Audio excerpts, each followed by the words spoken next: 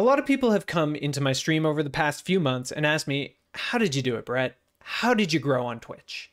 I don't necessarily feel like an expert on this subject, but there are three things I always keep in mind while streaming. This advice might be a little different from other how to grow on Twitch videos you've seen, but I honestly try to follow it as close as I can. But first, if I'm going to give up these secrets, I have to ask you to subscribe. It helps me continue to do what I love. Let's get to it. These three things were not something I came up with. This advice came to me from Eric Harper, founder of the GG Talent Group. He posted a thread on Twitter that outlined these things, and I have taken it to heart ever since. The only three things people want from a streamer are one, to learn, two, to feel, and three, to laugh. That's it. That's all. Some people want them all, but everyone wants at least one of those things when they watch a stream. Everyone who currently watches you, everyone who will ever watch you. If you can't do at least one of those three things well, your stream will not grow. People might find you, but they're not going to stick around. But what do those things mean?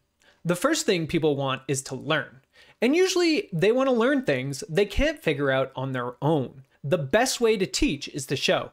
This is why speedrunners and challenge runners tend to pull good numbers. They're doing things the average player can't do. People watch these streams to learn how to do it. The better you are at something, and the fewer people who can do the same thing, the more people will watch you. This is also why top esports players in multiplayer games also pull big numbers. Top Rocket League players, top Apex players, if you're at the top of your game, you will grow. The corollary there is that variety streamers aren't teaching you anything. They jump from game to game and are learning each game as they go, and therefore provide little value to the viewers in terms of teaching them. This is why it's so hard to grow as a variety streamer. But some people do it. How? That's where the second and third parts come in. The audience that watch variety streamers want to either feel things from your content or laugh at your content. Probably both. This means you need to be able to convey the highs and the lows of the game you are playing.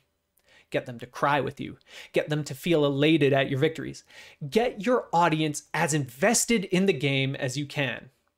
All that while cracking jokes and getting everyone to laugh. The people who are good at both these things are natural entertainers. They can be funny at parties and get a group of people they've never met to hang on every word. Storytellers, empaths, people like that. So that's it. That's what you need. If you can do all three, you'll explode as a content creator. Lean hard into the things you're good at and work on the things you're not. Remember, there's no substitute for hard work. You don't get to be funny, empathic, or a top level gamer without putting in the time. And simply streaming more while not doing any of these things is not putting in the time correctly. I've left a link to the Twitter thread by Eric Harper in the description. I probably read this thread once a month to remind myself what I need to do. I hope you found this advice helpful or insightful in some way. Now get out there and make some content.